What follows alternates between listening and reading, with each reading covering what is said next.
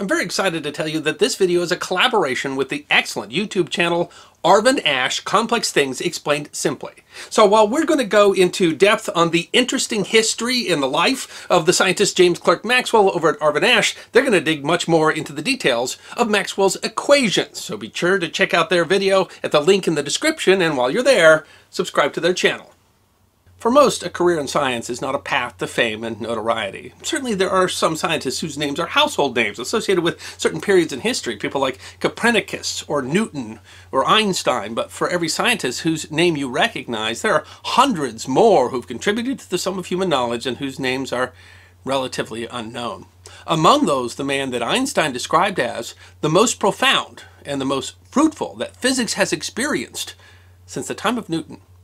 He's been called the father of modern physics, the founder of the field of electrical engineering. A 1999 survey of physicists declared him to be the third most important physicist of all time, voted only behind Newton and Einstein. You might never have heard his name before, but the life of James Clerk Maxwell deserves to be remembered. Maxwell was born June 13, 1831, to a family of comfortable means. His father, John Clerk, was a member of the minor nobility. His family recognized from a young age that he had an insatiable inquisitiveness and a naturally gifted mind. By the age of eight, he was quoting Milton in large chunks of the Book of Psalms. His mother died of abdominal cancer after an unsuccessful operation that same year. After the death of his mother, his early schooling passed to his father and Jane Cay, his aunt, who said of his education that it was humiliating to be asked so many questions Wooden couldn't answer by a child. He was briefly and disastrously tutored by a 16-year-old who was said to be cruel to him. On February 12, 1842, James's father took him to see an interesting show, a demonstration of electric propulsion and magnetic force by Scottish inventor Robert Davidson. Davidson's electrically powered machines, such as a printing press, a lathe, and a small powered carriage, were on display and may have served as a significant inspiration to the 10-year-old. Maxwell was sent to school at the Edinburgh Academy, but struggled socially. The first year classes had been full, so he joined the second year with boys older than him. When he first arrived, he was given the cruel nickname Dafty, apparently because he arrived wearing homemade shoes and a tunic. He made a few friends, such as future scholars Lewis Campbell and Peter Guthrie Tait. At 13, he won the school's mathematics medal and first prize in both English and poetry. In 1845, he wrote his first scientific paper, describing mechanical means of drawing mathematical curves using a piece of twine, as well as properties of ellipses and Cartesian ovals. The paper was presented by a professor from the University of Edinburgh, as they thought him too young to present himself. While not entirely original, the work did simplify the construction of multifocal ellipses. He joined the University of Edinburgh two years later at 16 while he had a number of well-regarded teachers, he didn't find the work demanding and spent a considerable amount of time on his own projects. He did his own experiments on polarized light with improvised equipment. Using gelatin and a pair of polarizing prisms, he discovered photoelasticity, a means of measuring stress distribution in a physical structure. At 18, he contributed two papers for the Royal Society in Edinburgh, and again was considered too young to present. His tutor presented instead. In October of 1850, he began attending the University of Cambridge, eventually settling in Trinity College. There he joined with the elite secret society of intellectuals called the Cambridge Apostles.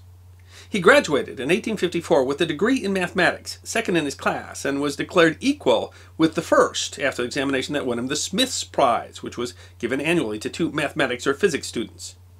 He applied for a fellowship at Trinity, and in 1855 finally presented his own paper to the Royal Society of Edinburgh, the paper focused on color and color blindness. In 1856, he won the Strachan Gold Medal, Edinburgh's highest mathematics prize. He became a fellow at Cambridge in 1855, but shortly accepted a position as the chair of natural philosophy at Marischal College in Aberdeen.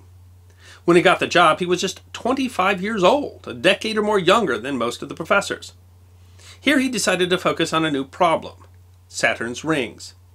Galileo had first seen the rings in 1610, and in 1655 Christian Huygens recognized them as rings, but the nature of the rings still wasn't understood. Scientists weren't sure how they could be solid without breaking up, drifting away, or crashing into the planet. The topic had also been chosen for the 1857 Adams Prize, a prestigious scientific award given out by Cambridge. Maxwell proved that a solid ring wouldn't be stable, and that a liquid ring would break into blobs because of wave action. He concluded that it must be made up of what he called brickbats, numerous small particles all orbiting Saturn. He was the only researcher who had accomplished enough to submit an entry, so he won the 130 pound Adams Prize. One astronomer said the work was one of the most remarkable applications of mathematics to physics that I have ever seen. While at the college, he became friends with the school's president, Reverend Daniel Dewar, and fell in love with his daughter, Catherine. They married in 1858. Fairly little is known about Catherine, although she did work on experiments regarding viscosity. Marischal College emerged with another to become the University of Aberdeen, so he ended up in the chair of natural philosophy at King's College in London. Among his many interests was one that also captivated Newton color vision. He wrote papers concerning human perception of color, color blindness, and color theory. His paper on the theory of color vision, presented to the Royal Society in 1860, won him the Rumford Medal, given for an outstandingly important recent discovery in the field of thermal or optical properties. He used linear algebra to prove Thomas Young's trichromatic color theory that the human eye had three different kinds of photoreceptors that were sensitive to different wavelengths. In his paper and later in practice, he described how taking three black and white photos with red, green, and blue filters and then superimposing them with a projection to produce the first durable color photograph. This paper also theorized that color blindness was brought on by the absence of one of the three kinds of photoreceptors. He also did significant work regarding the kinetic theory of gases, establishing that temperature of a gas is entirely a product of the speed of the individual molecules. Importantly, he also realized that temperature is a product of the average speed of the gases, because some of the molecules would speed up or slow down through collisions. He produced what is now called the Maxwell-Boltzmann distribution, which was the first statistical law of physics, and showed that the particles within a gas would have a distribution of speeds. And he predicted what that distribution would be. It showed that the second law of thermodynamics, that heat flows from higher temperature objects to lower ones, is a statistical law, although some individual particles may disobey the law while the majority followed it. His time at King's College also brought him into regular contact with Michael Faraday. While Faraday was 40 years Maxwell's senior and showing signs of dementia, still the pair respected each other's work. Faraday had done pioneering work in electromagnetism, another field that Maxwell would make breakthroughs in. As early as 1855, he'd written a paper on Faraday's lines of force, simplifying Faraday's work into the relationship between magnetism and electricity. He synthesized this understanding into a set of 20 equations, later simplified into four partial differential equations known as Maxwell's equations.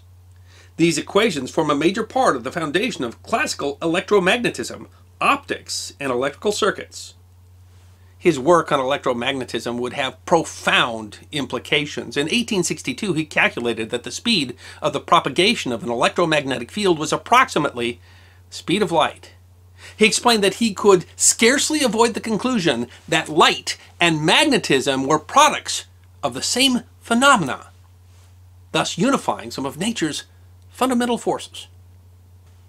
His paper, A Dynamical Theory of the Electromagnetic Field, showed that light and magnetism are affectations of the same substance, effectively turning electricity and magnetism into a single system, electromagnetism. He turned Faraday's lines of force into an electromagnetic field, understanding that light behaved as a wave through space. Einstein would later say that the special theory of relativity owes its origins to Maxwell's equations. Heinrich Hertz later experimentally demonstrated the existence of Maxwell's theorized magnetic field. Maxwell theorized that these electromagnetic waves should be able to be reflected and refracted the same way as light. This was an important precursor to understanding radio waves, and therefore radio communication. His theory is the basis of our understanding of the electromagnetic spectrum today, that it is a large spectrum of which visible light is only a small part. Even more impressive, he did this theoretically and mathematically without the experimental evidence. One author characterized this discovery as one of the greatest achievements of 19th century physics. He resigned his chair of King's College in 1865 and returned to his home at his estate, Glenlair, with Catherine. He offered contributions to other fields, discussing the rigidity of various forms of lattice, the textbook The Theory of Heat, and a paper setting forth the theoretical basis for control engineering. He returned to Cambridge in 1871 to become the first Cavendish Professor of Physics and was put in charge of putting together the Cavendish Laboratory, which opened in 1874.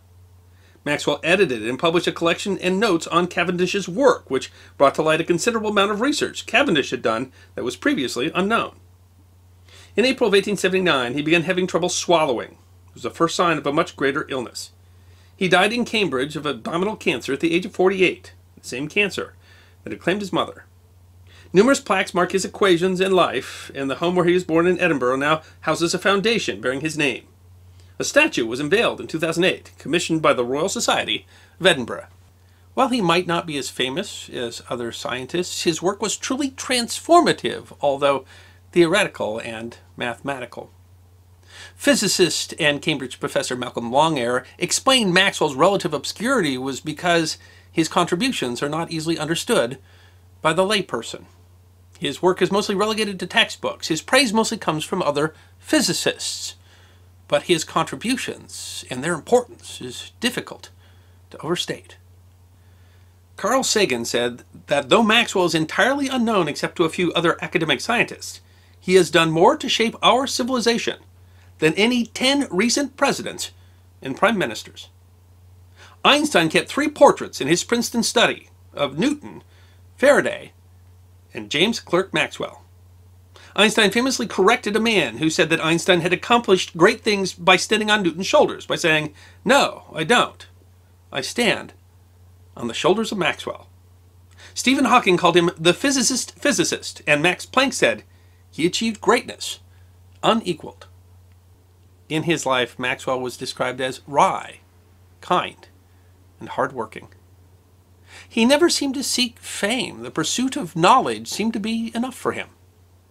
Shortly before his death, he told a colleague, I have been thinking how very gently I've been dealt with. I have never received a violent shove in all my life. My only desire that I can have is to, like David, serve my own generation by the will of God, and then to fall asleep.